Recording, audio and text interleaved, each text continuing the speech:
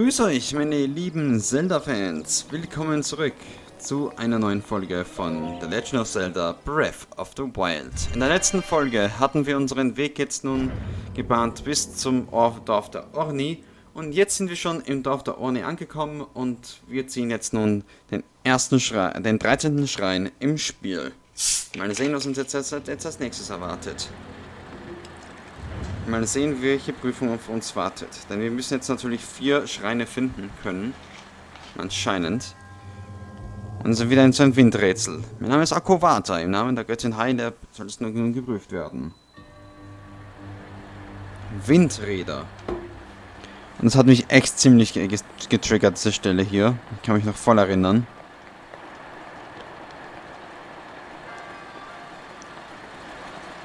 Hm.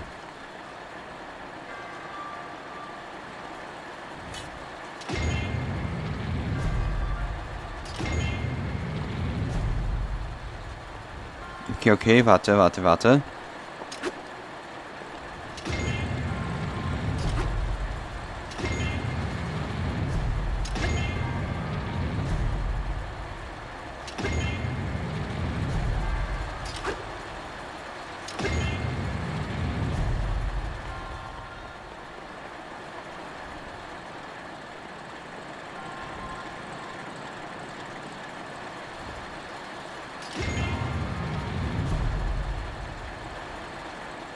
Okay.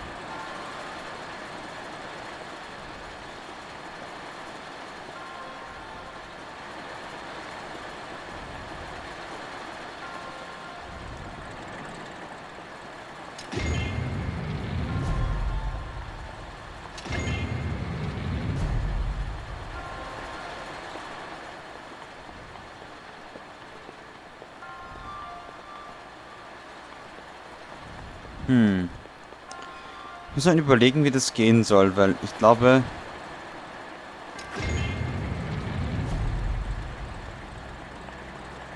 Das drehen alle, oder? Nee, doch nicht.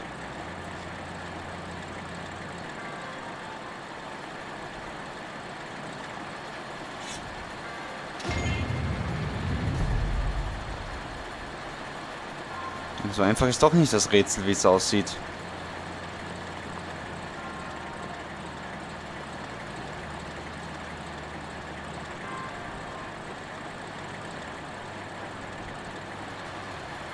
Einer dreht sich jetzt nicht.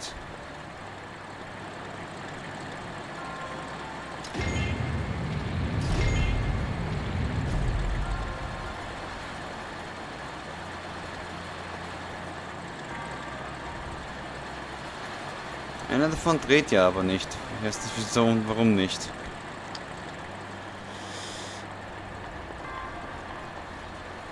So. Da geht es leider nicht, aber da ist einer läuft jetzt nicht mehr.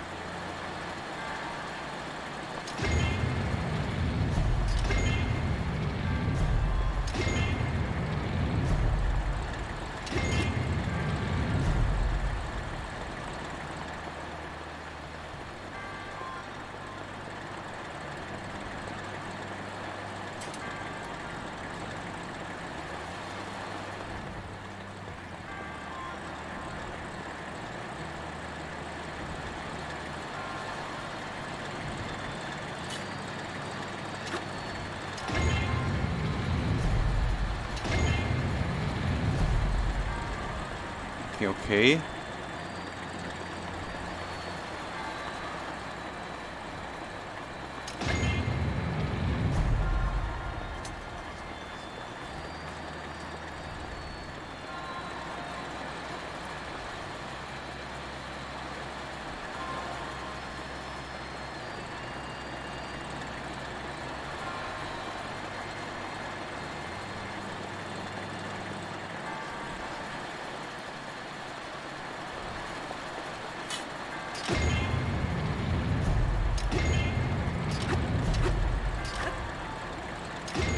schon.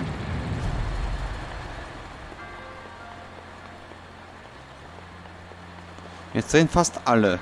Mit zwei nicht. Okay.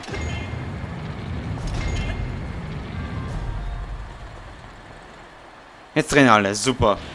Das war einer der schwersten Rätsel, das ich jemals gemacht habe, damals. Aber ist da etwas noch was versteckt oder sowas?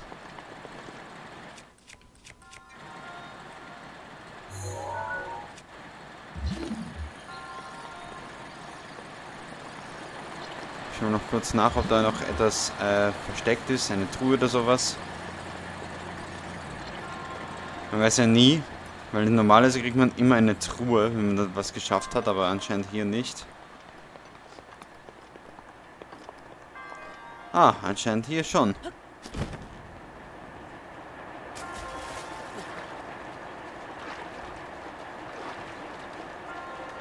Fuck.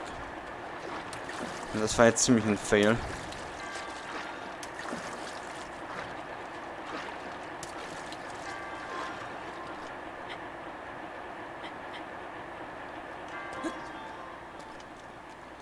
So, ich glaube, ich muss ihn mit einem Pfeil treffen. Okay. Jetzt leckt es ein bisschen. Ich weiß nicht, wieso es so ist. Ja. Jetzt haben wir es richtig getroffen. Nice.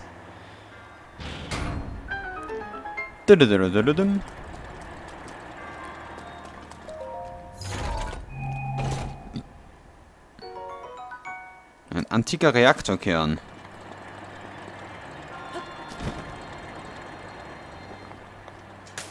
Ach Mann, das war jetzt nicht richtig.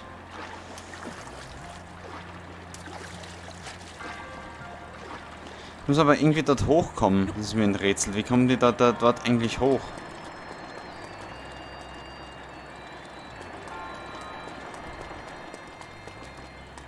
Hat eine Treppe dort oben oder was? Nee, da war nichts.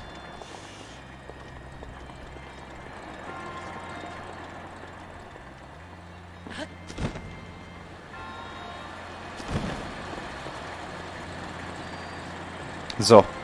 Ich glaube, dann werden wir jetzt mal schnell das hier beenden.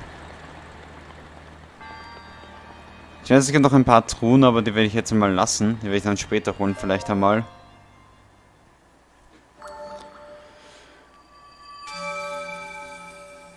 Ich weiß nicht wieso, aber ich habe immer mit Varuto gestartet oder mit ähm, Vamedo gestartet. Das war damals in meinem privaten Run. Und dann später bin ich zu Varuto gegangen und dann in Gerudo-Reich bin ich gegangen. Ohne Scheiß. So. Jetzt müssen wir noch mal den nächsten Schrein finden. Ich weiß, den Turm können wir jetzt noch nicht erreichen, weil wir brauchen natürlich äh, die Fähigkeit von Rivali.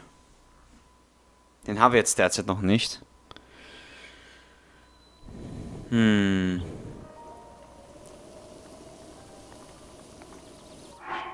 Dann tun wir mal schnell mal teleportieren.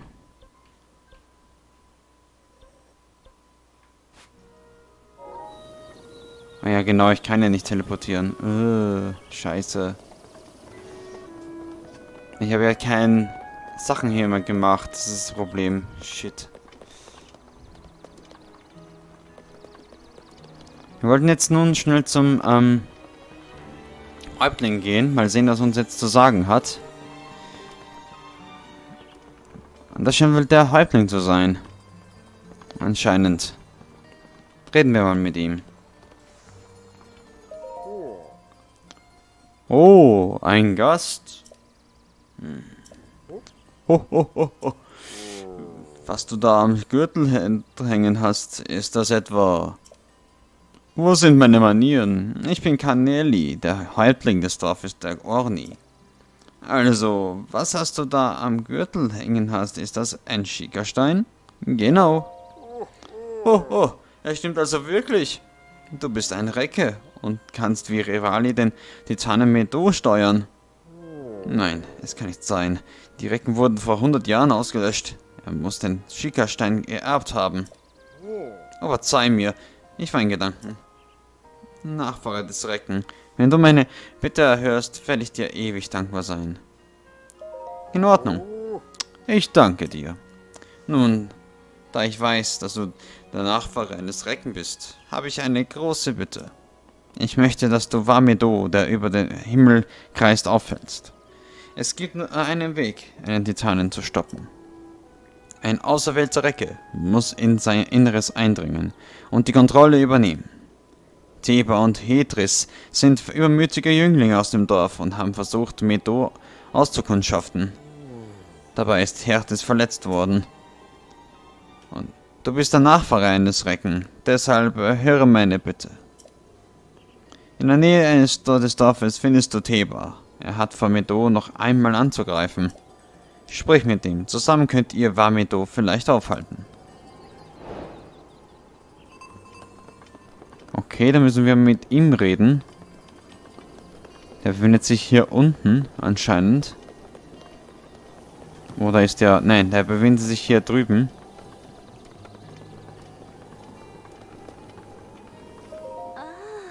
Es tut mir leid, aber ich habe mitgehört, dass du mit dem Häuptling gesprochen hast. Willst du wirklich zusammen mit einem Mann Theba gegen Medo kämpfen?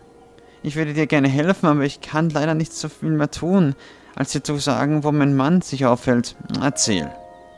In Ordnung. Mein Mann ist an einem Ort, den wir Flugplatz nennen. Er befindet sich am Rinuspass, am Fuße des Hebraberge. Dort oben, dort üben die Ornikrieger den Luftkampf. Wahrscheinlich wappnet sich mein Mann dort, um Methoden nicht nur noch einmal zu unterlegen. Ich glaube, er ist zu Fuß zum Flugplatz gegangen. Normalerweise kann man vom Revani-Platz direkt zum Flugplatz fliegen. Aber wenn man jetzt zu hoch in die Luft wagt, wird man von einem von diesem Meteor abgeschlossen. Der Rivali-Platz ist ein Gedenkort für den Recken der Orni, Rivali damit wir, wir niemals vergessen, was an jenem unheilvollen Tag geschah. Oh, eine Erinnerung. Ich halte jetzt mal in den Mund und genieße mal die Erinnerung an Link mit Rivali.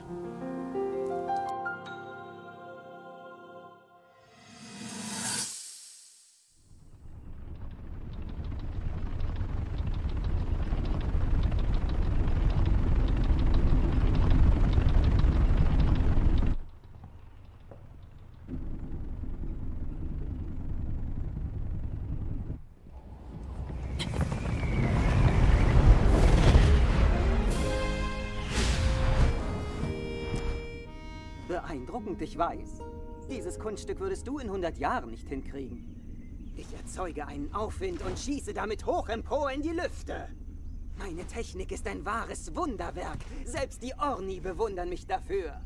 Mit dieser Kunst sind wir unschlagbar. Sie wird uns zweifellos einen großen Vorteil im Kampf gegen die Verheerung Ganon verleihen. Hinzu kommt, ich bin der unangefochten beste Bogenschütze unseres Volkes. Und somit ist es ja wohl ganz offensichtlich, dass ich, Revali, der Schlüssel im Kampf gegen die Verheerung Ganon bin. Aber stattdessen haben sie mir aufgetragen, dich zu beschützen. Und das einzig und allein, weil du dieses alte Schwert mit dir herumträgst. Ha, das ist der Gipfel der Dummheit. Oh je, habe ich deine Gefühle verletzt? Dann lass uns die Sache in einem Kampf austragen. Nur wo? Ich hab's. Da oben. Moment, ich vergaß. Ohne meine Hilfe schaffst du es ja nicht mal bis zu dem Titanen hoch.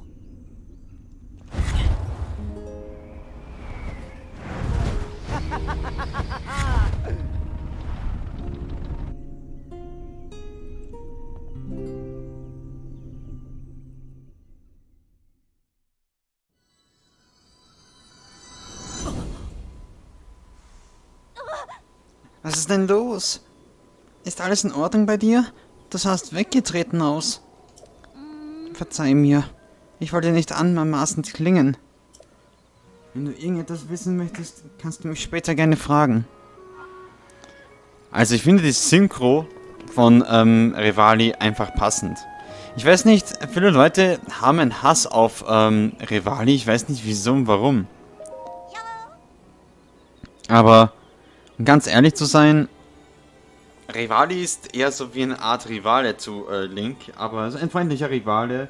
Obwohl er so angegeben hat, er wollte natürlich einen Kampf austragen mit Link in Wamido, aber anscheinend war, hat er nicht die Fähigkeit zu fliegen, weil er ein Hylianer ist. Das war ihm jetzt erst später vom Begriff gewesen, weil er ein normaler Hylianer ist.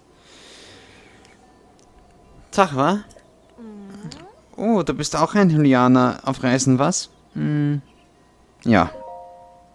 Wir sind in den Flitterwochen.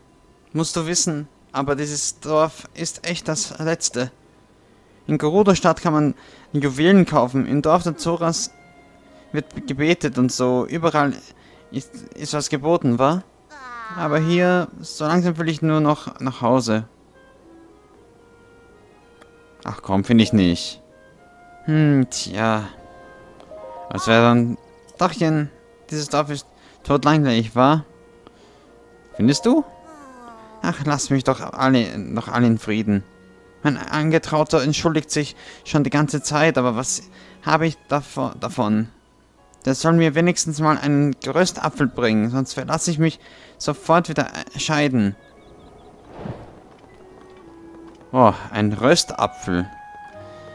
Das können wir machen. Aber erst später. So. Wir müssen aber einen ganz großen Weg nach oben gehen, nach Norden. Also das heißt, wir müssen dann jetzt in die eisige Kälte.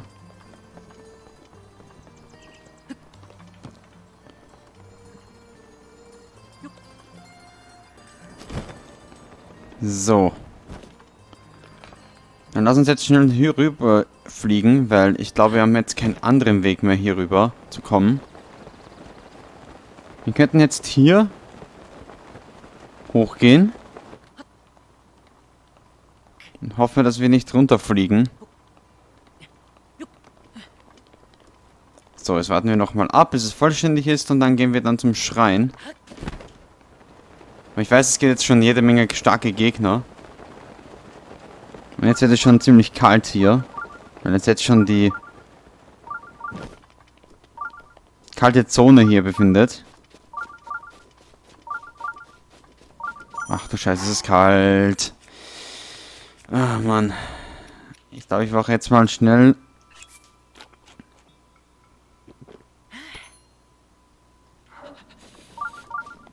Hier ist es extrem kalt. Die bisherigen Schutzmaßnahmen reichen nicht mehr aus. Oh mein Gott. Und sogar der Mantel reicht auch nicht aus.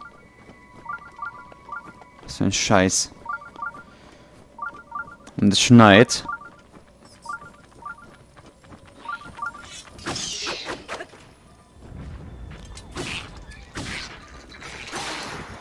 Oh mein Gott, jetzt kommen noch mehr Gegner. Ach du Scheiße.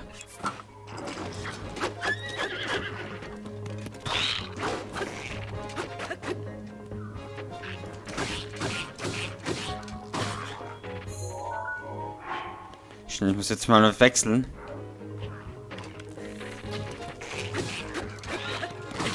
Boah, wie viele Gegner da jetzt kommen. Was? Die, die, die killen mich gleich. Oh mein Gott.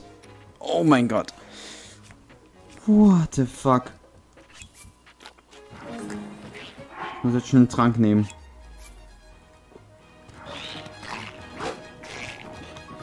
Oh mein Gott. Komm, renn. Was? Gewonnen-hittet. Oh mein Gott. What the fuck?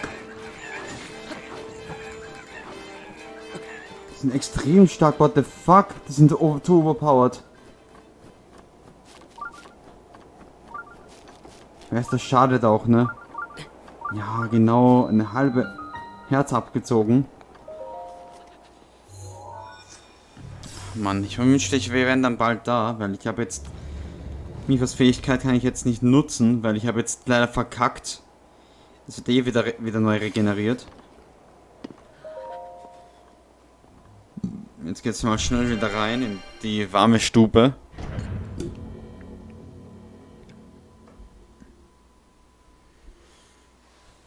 Oh Mann. Warum will ich dann die ganze, die ganze Equipment? Aber leider habe ich nicht so viel äh, Rubine, das ist das Problem.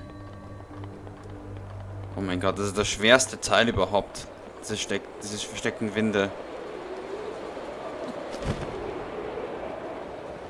Da machen wir natürlich den Paragleiter, um hochzukommen.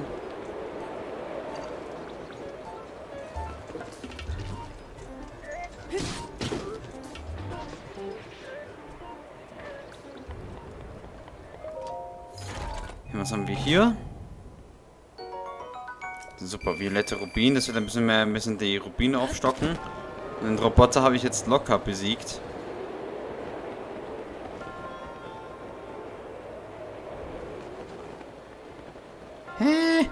Warte.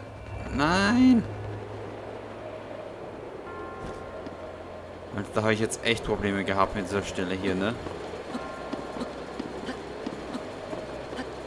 Boah, Link, jetzt geh doch mal hoch.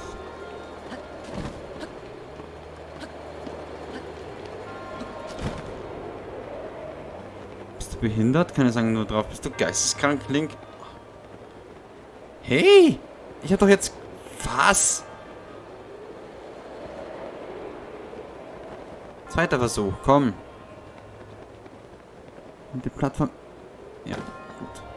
Sehr gut. Du kannst jetzt endlich mal die Plattform greifen. Warum denn nicht gleich so, ne? Warum denn nicht gleich so? Also es scheint wohl eher einer der einfachsten Stellen zu sein.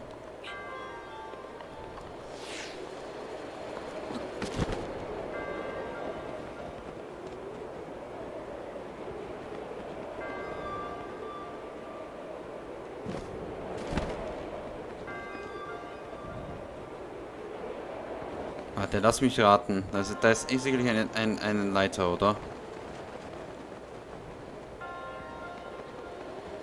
Als ob. Oh Mann.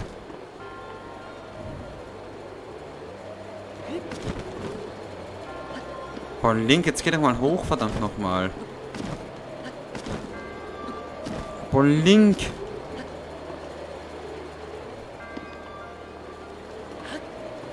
Dämliche Juliana, geh doch mal hoch.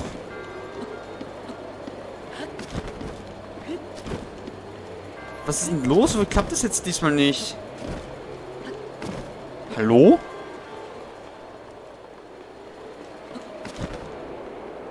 Es funktioniert nur, wenn es will, ne? Boah, dieser... dieser Verdammte Scheiße, Mann. Diese Kacksteuerung.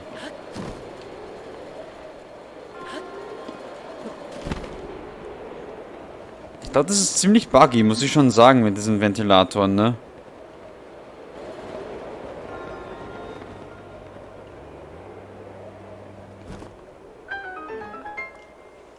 So, das haben wir jetzt mal endlich mal geschafft. Puh. Das brauche ich eh nicht mehr extra lesen, diesen Kack. Damit haben wir jetzt schon zwei.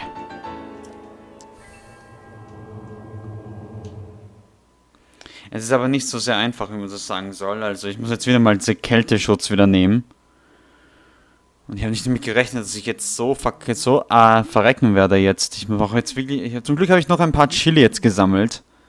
Und das gerade erst im letzten Part. Damit wir dann wieder was Warmes kaufen können, äh, machen können. So, jetzt muss ich mal schnell mal gönnen, jetzt mal warme, was Warmes. Das haben wir endlich mal Kälteschutz. Und jetzt kommen wir mal dort zum Flugplatz, wo dieser Person hier ist.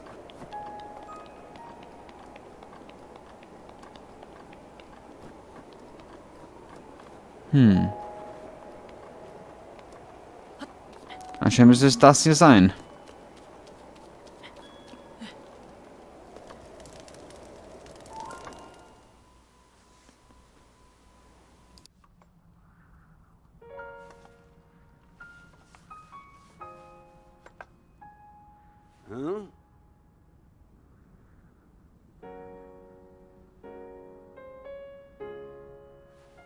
Willst du hier? Siehst du nicht, dass ich beschäftigt bin? Ich habe jetzt keine Zeit für dich.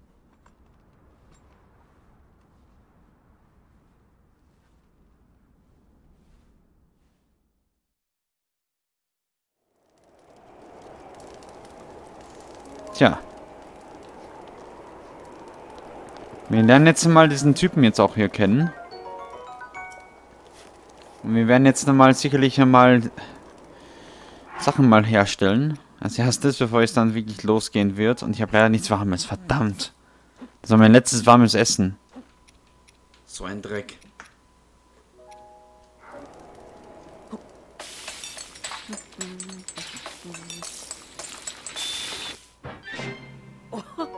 Kochobst. Naja, es wird jetzt leider nicht so vieles bringen. Und Mifas äh, Fähigkeit wird auch jetzt später was bringen. Naja.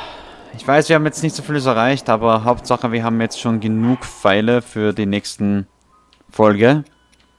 Denn wir werden jetzt jede Menge, ich wiederhole, jede Menge Zeit jetzt verschwenden müssen im nächsten Part, denn ich glaube, es kommt jetzt mal ein, eine Bogenschützeübung, aber ich glaube, das werde ich, werde ich dann halt im nächsten Part reinpacken. Also, Falls es euch gefallen hat, ein Däumchen nach oben würde mich noch freuen und ein Abo da lassen, die Glocke aktivieren, damit ihr nichts verpasst. Denn ihr wisst schon selbst, YouTubes Algorithmus ist total neben der Spur. Also, wir sehen uns in der nächsten Folge.